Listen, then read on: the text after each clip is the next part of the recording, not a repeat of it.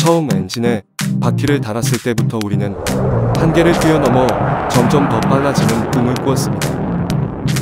공기역학적 월의 형태로 제작된 전기차 나 자매 콘텐테는 1899년 시속 65마일을 돌파한 최초의 도로 차량입니다. 하지만 운전자의 높은 위치는 공기역학의 많은 부분을 망쳤습니다. 1904년 91마일을 기록한 이 빨간색 포드 999는 1893년 112마일의 세계 속도 기록을 세운 것으로 유명한 증기기관차 엠파이어 스테이트 익스프레스 999의 이름을 따서 명명되었습니다. 엔진에서 내뿜는 지옥 같은 소음으로 인해 이름 지어진 메피스토펠레는 1924년 145마일을 기록하였는데 공공도로에서 속도 기록을 세운 마지막 차량이었습니다. 선빔 350HP는 항공기용 12기통 aero 엔진을 사용한 최초의 속도 기록 경신 차량으로 1924년 146마일을 공식적으로 달성하였습니다. 블루버드는 순간 최고 속도 195마일로 200마일의 벽에 감질나게 근접했지만 평균은 174마일로 기록되었습니다. 미스텔이라는 별명으로 더 잘 알려져 있는 썬빔은 약 900마력의 출력을 낼 수 있는 괴물 같은 자동차였습니다. 시속 200마일 이상으로 달린 최초의 자동차였습니다.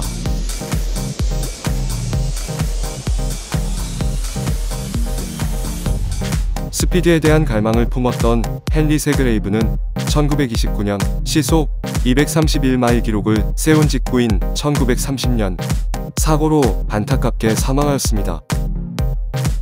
1937년 영국 드라이버 조지 에이스턴이 썬더볼트로 312마일을 달성하였는데 2차 세계대전이 끝날 때까지 새로운 기록은 세워지지 않았습니다.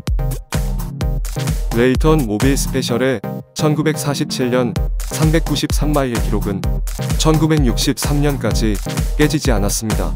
하지만 도전을 위해 제작된 가장 우스꽝스러워 보이는 차량 중 하나이기도 했습니다.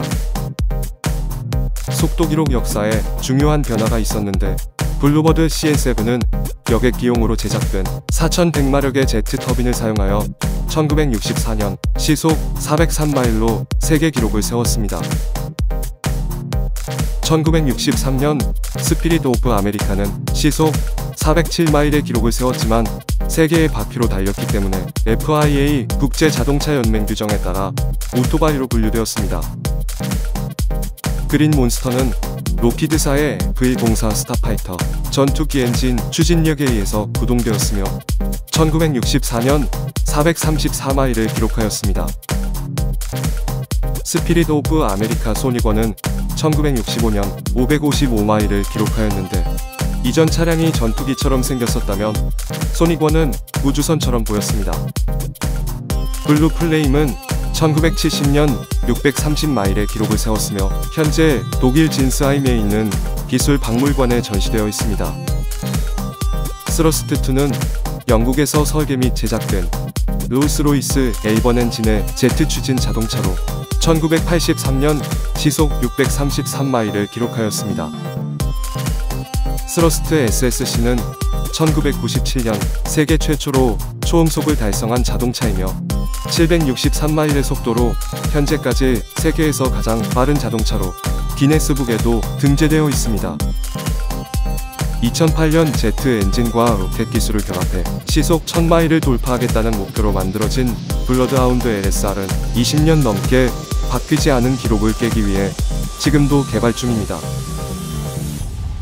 1885년에 칼 벤츠가 최초의 자동차를 발명한 이후 속도 기록을 깨는 것은 수십 년 동안 수백 대의 독특하고 미친 자동차들의 꿈이자 목표였습니다.